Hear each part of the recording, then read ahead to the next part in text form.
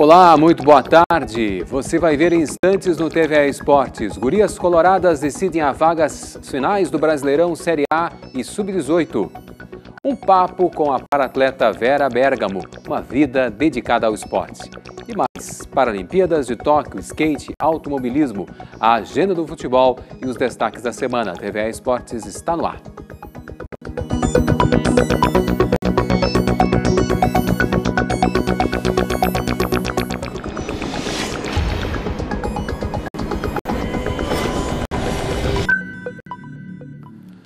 E a quarta-feira que passou o dia 1 de setembro é reconhecida como o Dia da Educação Física. E de carona com as Paralimpíadas de Tóquio, o TVA Esportes homenageia esta data recebendo uma paratleta com uma deficiência visual. É um verdadeiro exemplo de vida dedicado ao esporte. Recordista sul-americana dos 400 metros, com passagem até pelos Jogos Paralímpicos de Seul há mais de 40 anos, a Vera Luiza Bergamo se mantém em atividade até praticando corrida, mantendo a forma e a saúde.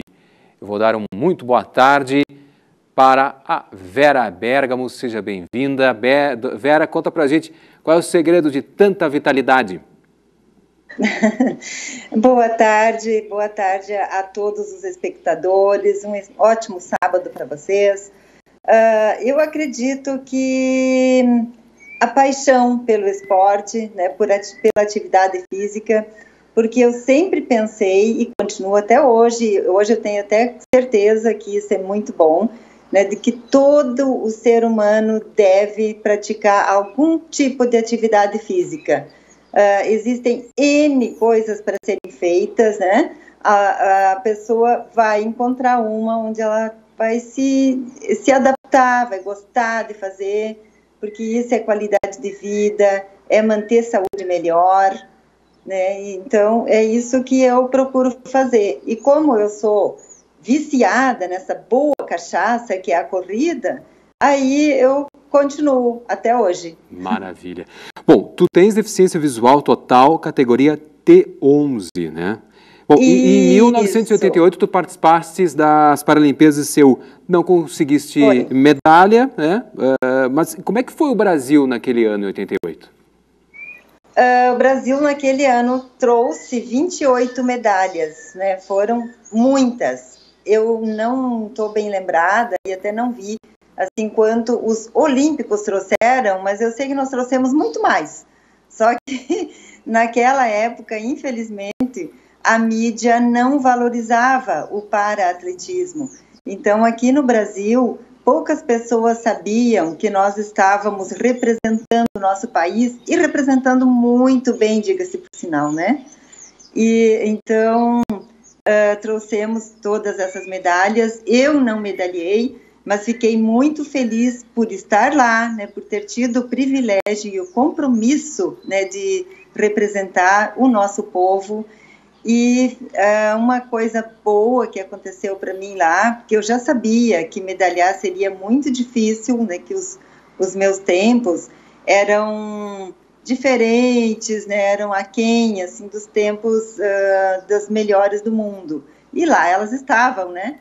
Uh, então, o que aconteceu de bom para mim lá foi que nos 400 metros eu consegui fazer um novo recorde sul-americano que já era meu, né? Na época eu fazia 100, 200, salto em distância e 400. E todas as marcas, não que os tempos fossem ótimos, não eram, mas é o que tinha de melhor na, na América do Sul, né? Então todas as melhores marcas eram as minhas. Sem dúvida. Aí depois surgiram pessoas é, com muito mais potencial, né? E foram batendo, quebrando meus recordes. E hoje nós estamos aí os tempos que dá para se dizer que são maravilhosos. Ah.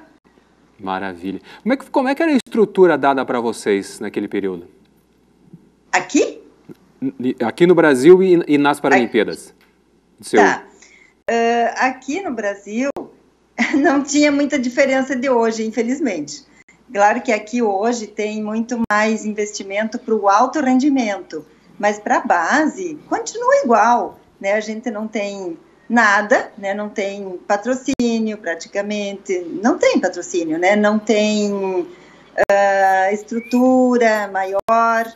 mas a gente, na época, a Associação de Cegos do Rio Grande do Sul tinha uma professora cedida do Estado, né, que daí nos uh, treinava, e tinha um, um, outro técnico muito bom também, que aí a associação que o contratou, e aí eram dois que nos davam treino, e então nós tínhamos um grupo e o próprio grupo se ajudava. A gente naquele tempo não tinha a figura do guia que existe hoje, que uhum. todo mundo está assistindo aí, né? Que cada atleta tem seu guia.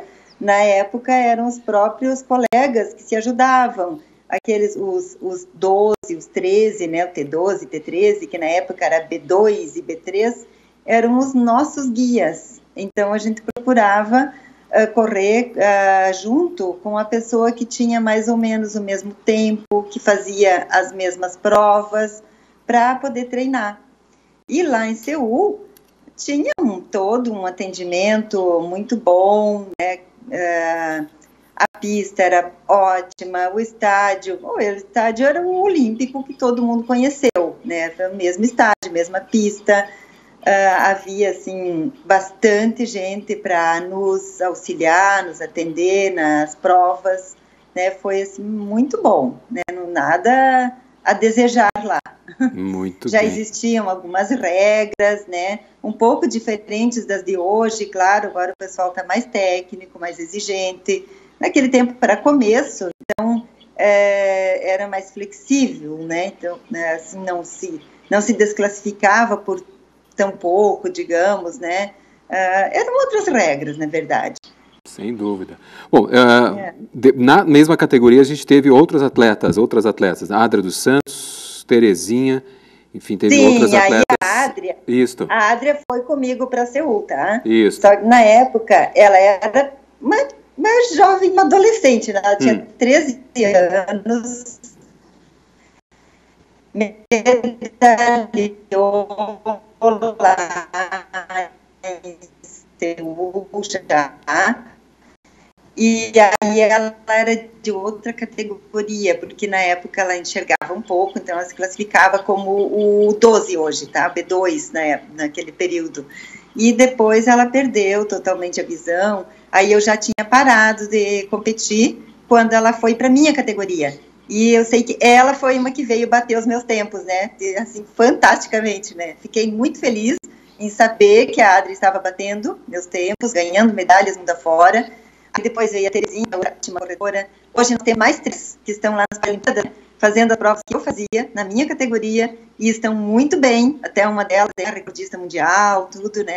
E agora ela já tirou uh, prata lá na, nos 400. No 100, infelizmente, foi desclassificada porque a guia arrebentou, né, aquela cordinha estragou. Aí a outra que classificou para o 100 também aconteceu a mesma coisa.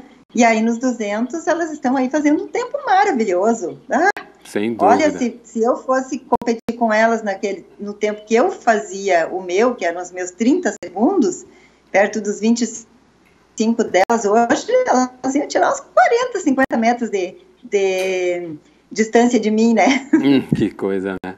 Bom, tu continuas correndo, é. né? Uh, tu, tu, tu, tu, continuas correndo, né? Até Continuo. um grupo de corrida, né? O que, que, o que, que, o que, que é esse grupo? É o Sexto Sentido, é isso? Isso, o nosso grupo é o Projeto Sexto Sentido, RS, que surgiu em 2017, ali em Santa Catarina.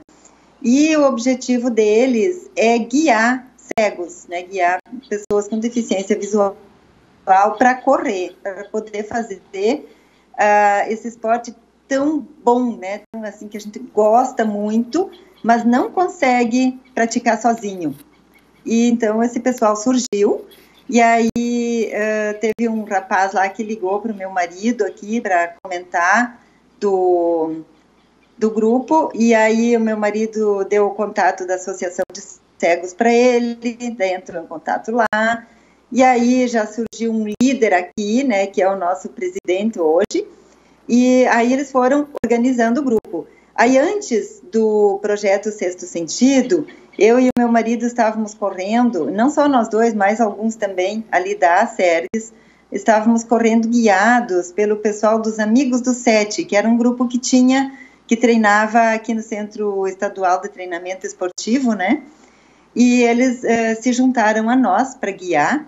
E aí, quando o, o Sexto Sentido se organizou, é, esse pessoal que continua ativo, né, que eram amigos do Sete, entraram também para o Sexto Sentido. Aí hoje nós somos um grupo só, né, que juntou a Sérgio, o Sexto Sentido ali e os amigos do Sete. Hoje somente o projeto Sexto Sentido. E então nós temos vários guias, ah, DVs também. Aí hoje a gente faz corrida de rua e trilhas. É a nossa principal meta. Mas uh, a gente está aí pensando, querendo buscar adolescentes, jovens, né, para inovar o atletismo. E aí, é, tendo essas pessoas, eu acho que se vai pensar sim em participar de campeonatos de alto rendimento pelo país, né? Muito bem. Vera Luiza Bergamo fez história, continua fazendo história e incentivando o paradesporto aqui no Brasil, no Rio Grande do Sul. Vera, parabéns pelo projeto, parabéns aí por essa trajetória. Agradecemos muito a gentileza com a gente aqui no TV Esportes. Um grande abraço. Abração, tchau, tchau. Tchau, tchau. Muito obrigada. Agradeço a todos vocês pela oportunidade. Saúde, paz e vamos fazer alguma atividade, pessoal. Valeu. E estamos na reta final das Paralimpíadas de Tóquio, que se encerram amanhã. Uma edição para lá de especial para o esporte brasileiro. Além de baterem recordes em diversas modalidades, essa delegação brasileira, a maior fora do Brasil na história dos Jogos, já se destaca pelo maior número de medalhas conquistadas, inclusive de ouro. Confere agora um resumo das conquistas brasileiras no Japão. Sexto dia de Jogos Paralímpicos no Japão, a segunda-feira foi um dia de cinco medalhas para o Brasil, quatro delas no atletismo, no lançamento de disco, duas de ouro. Beth Gomes jogou mais longe e quebrou o recorde mundial feminino da classe F53, que já era dela. No masculino, Claudinei Batista também confirmou o favoritismo e garantiu a medalha dourada na classe F56. A segunda da carreira, o arremesso de peso na classe S11, melhor resultado de Alessandro Rodrigo na temporada, foi uma das duas pratas do atletismo. A outra no 100 metros masculino, da classe T63. Vinícius Rodrigues foi o segundo colocado na prova, chegando um centésimo de segundo atrás do campeão paralímpico. Faltou pouco também para um ouro no tênis de mesa feminino. Na final da classe 10, Bruna Alexandre acabou perdendo um jogo equilibrado, mas festejou o segundo andar no pódio. No futebol de 5, a seleção brasileira fez 4 a 0 no Japão, com dois gols de Ricardinho, um de Nonato e um de Thiago da Silva.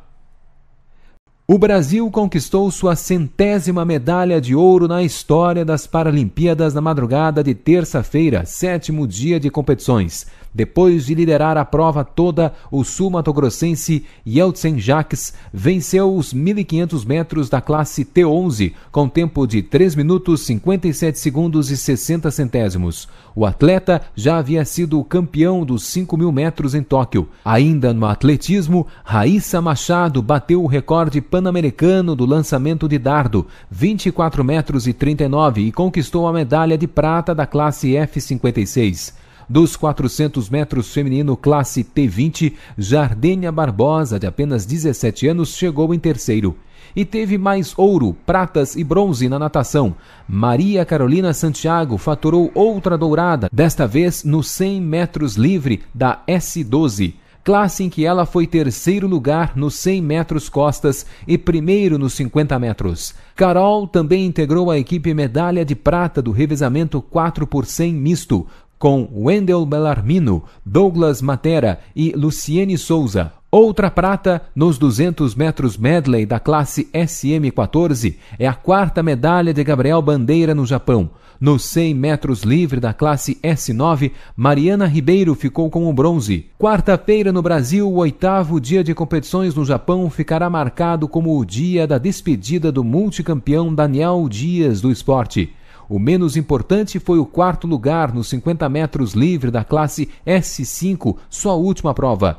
Com 27 medalhas na carreira, Daniel Dias é o maior atleta da natação paralímpica da história. E quem vem firme no encalço desses números é a nadadora pernambucana Maria Carol Santiago, atleta do Grêmio Náutico União. Ela quebrou o recorde paralímpico dos 100 metros peito da classe SB12, arrematando seu terceiro ouro entre as cinco medalhas conquistadas em Tóquio.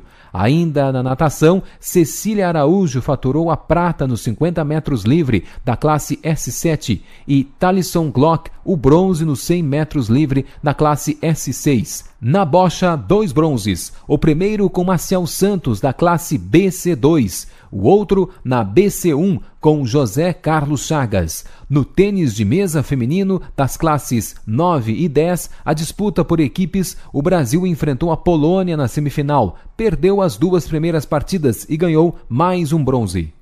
Na quinta-feira, nono dia de competições, o paradesporto brasileiro conquistou mais seis medalhas. Ouro para Natan Torquato no Taekwondo da classe K44 para atletas até 61 quilos.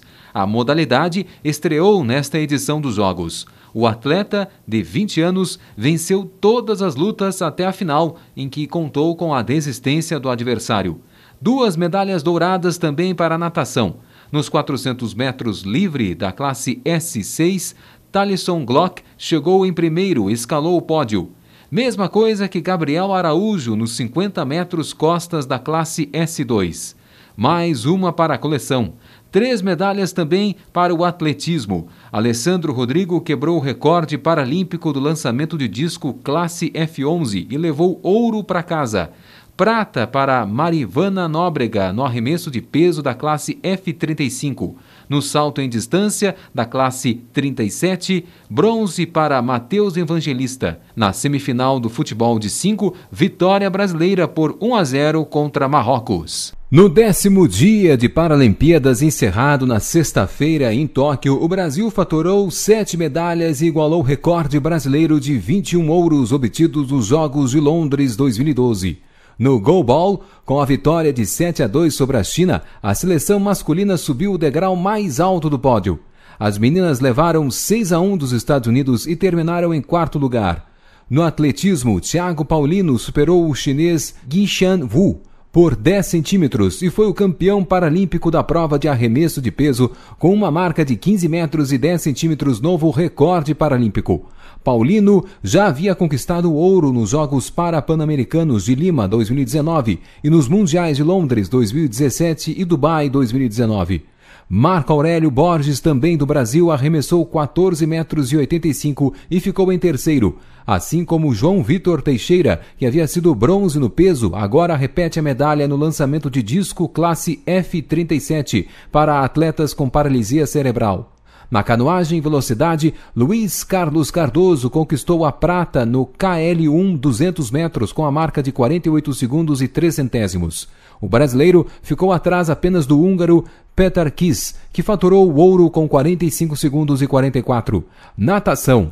Na final dos 100 metros borboleta masculino da classe S11, Wendel Bellarmino chegou em terceiro lugar e arrematou seu segundo bronze em Tóquio. Mesma cor da medalha conquistada por Silvana Fernandes no Para Taekwondo. A estreante superou a turca Gamze Gurdal e garantiu um lugar no pódio. Foi a segunda medalha do Brasil na modalidade. E a abertura dos Jogos Paralímpicos de Tóquio no início da semana passada coincidiu aqui em Porto Alegre com a 24ª Semana da Pessoa com Deficiência, promovida pela Coordenadoria de Paradesporto da Secretaria Municipal de Esportes, Lazer e Juventude. Encerrado no sábado com torneios de futebol, de 5 e goalball, o evento teve como destaque uma disputada competição entre cadeirantes. A Copa Slalom em cadeira de rodas disputada na quadra do ginásio Tesourinha foi a terceira atividade da Semana da Pessoa com Deficiência. A modalidade consiste em um circuito cortado por obstáculos que exigem coordenação motora, força e técnica para as mudanças de direção das cadeiras de corrida. Cada um dos 25 competidores receberam três oportunidades para percorrerem o percurso no menor tempo possível. O slalom em cadeira de rodas, que se tornou o esporte paralímpico em 19 1964, deixou de integrar a programação nos Jogos em 1988. A coordenadoria do Paradesporto solicitou oficialmente ao Comitê Paralímpico Brasileiro que a modalidade seja considerada um esporte novamente e que Porto Alegre seja reconhecida como uma capital do slalom em cadeira de rodas e que possa promover inclusive um campeonato citadino e outros torneios. Uma exposição virtual destaca a importância dos Jogos Olímpicos e Paralímpicos. Fica claro que o esporte é um instrumento fundamental para aproximar os povos, diminuir as diferenças e combater o preconceito.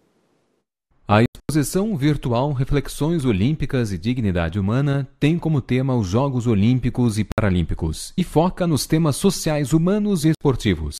A iniciativa é do Comitê Brasileiro Pierre de Coubertin, com apoio institucional do Centro de Informação das Nações Unidas para o Brasil e também da Agência da ONU para Refugiados.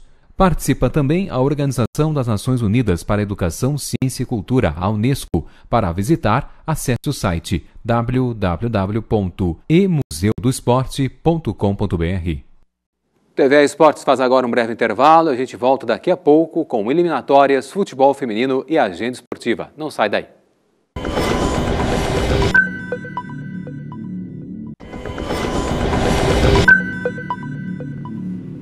Estamos de volta com o TV Esportes e agora é a hora de falar de futebol. A goleira Lorena do Grêmio foi a única atleta que atua no Rio Grande do Sul convocada esta semana para a Seleção Brasileira de Futebol Feminino. O elenco disputará dois amistosos contra a Argentina agora em setembro na Paraíba, dia 18 em João Pessoa e dia 21 em Campina Grande. Os primeiros Jogos do Brasil depois das Olimpíadas de Tóquio servirão para a técnica Pia começar a renovação da equipe. Mais futebol, confere agora na agenda.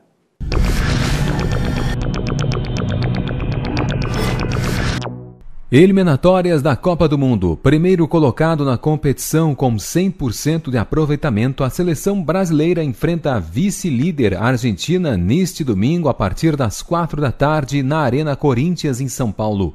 No último confronto, na final da Copa América, dia 10 de julho, vitória dos argentinos. A tripla rodada do torneio classificatório à Copa do Mundo do Qatar 2022 termina na próxima quinta-feira. Às nove e meia da noite, em Recife, o Brasil recebe a seleção peruana do Colorado Paulo Guerreiro. Os comandados de Tite vêm de vitória na última quinta-feira em Santiago sobre o Chile, de Palácios, também do Inter. O jogo marcou a estreia do meia colorado Edenilson na seleção. Desfalcado com a convocação de três dos seus atletas, o Internacional pediu e a CBF adiou o confronto com o Bragantino pelo Brasileirão, marcado para o próximo domingo. Mesma situação do Atlético Mineiro, que jogaria com o Grêmio. O tricolor volta a campo às 11 da manhã de domingo, dia 12, em casa contra o Ceará. O Inter fecha a rodada às 8 da noite de segunda-feira, dia 13, contra o Esporte em Recife. E na próxima terça-feira, nove e meia da noite, o Juventude tem a missão de fechar a rodada final da primeira fase do Brasileirão Série A contra o Corinthians, na capital paulista. Na última quinta, no Rio de Janeiro, a representação de Caxias do Sul empatou com o Fluminense, recuperando partida adiada na 14ª rodada do campeonato. E a dupla Grenal entra em campo logo mais às três da tarde pelo Campeonato Brasileiro Sub-20. Depois de mais uma derrota na competição 1 a 0 para o Atlético Mineiro sábado em Belo Horizonte, a base colorada precisa vencer o Santos em casa para sair do meio da tabela. Já os gremistas, que na última rodada empataram com o São Paulo no último minuto em 2 a 2, têm compromisso também em casa diante do Vasco da Gama.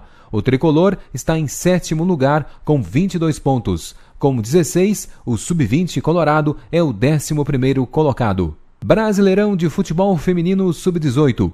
Inter e São Paulo decidem na próxima quinta-feira, 13h30 da tarde, no Beira Rio, quem vai disputar as finais da competição. No jogo de ida, quinta passada, em São Paulo, as gurias coloradas perderam e só passam de fase com uma vitória. E tem semifinal do Campeonato Brasileiro também pela Série A do futebol feminino. Neste domingo, 11 da manhã, as gurias coloradas precisam superar o Palmeiras em São Paulo para garantir classificação aos playoffs finais do campeonato. Derrotado em casa por 1 a 0, gol de letra de Chu, o Inter vai para a decisão em desvantagem do empate a favor dos paulistas. Agora ao skate. Em sua primeira competição, depois da medalha de prata em Tóquio, Raíssa Leal foi a campeã da etapa inicial da Liga Mundial da modalidade Street. Etapa de abertura da competição mais importante do Street Skate, Salt Lake City, nos Estados Unidos, reuniu no último sábado a nata mundial da categoria. Raíssa chegou à rodada final da competição em terceiro lugar, atrás de Funa Nakayama, do Japão, e Rose Svetslot, da Holanda. Na última manobra, a maranhense de 13 anos conseguiu uma nota 8,5, a mais alta da história da competição feminina, totalizando 21 pontos contra 20,7 da japonesa. O título foi o segundo na carreira da fadinha. A paulista Pamela Rosa ficou em quarto lugar com 16,4 pontos. Letícia Buffoni e Marina Gabriela não se classificaram para a final. Automobilismo. A supremacia dos pilotos gaúchos em pista marcou a terceira etapa do Campeonato Brasileiro de Turismo 1.4 domingo passado na cidade de Curvelo, Minas Gerais. Divididos em dois grupos, cerca de 40 automóveis disputaram cada reta e curva do traçado de 4,5 km do circuito dos Cristais. O Celta da equipe Autoavaliar, pilotado pelo gaúcho Bernardo Cardoso, fez um tempo de 2 minutos 24 segundos e 60 centésimos. Largou na frente da divisão B, menos de um segundo atrás do mineiro Wilton Pena, pole position geral da primeira bateria. Mas a vitória ficou com o Celta do também gaúcho João Cardoso Neto, da equipe Auto Racing. Na segunda corrida, com o grid invertido, o Celta da equipe MTech, guiado por Jonas Simon, do Rio Grande do Sul, cruzou a linha de chegada em primeiro lugar. Vencedores também da quarta prova da programação, Jonas sagrou-se campeão da divisão A e Bernardo Cardoso e seu parceiro Daniel Nino, de São Paulo, ficaram com o título da B na soma dos resultados da última etapa. A próxima, dia 14 de novembro, no Autódromo de Tarumã, será a última e decisiva etapa do Campeonato Brasileiro de Turismo 1.4. E para encerrar, nossa homenagem a todos os profissionais de educação física, parabéns e muito obrigado. Esta edição do TVE Esportes está chegando ao seu final. Nós voltamos no próximo sábado, sempre ao meio-dia. Até lá!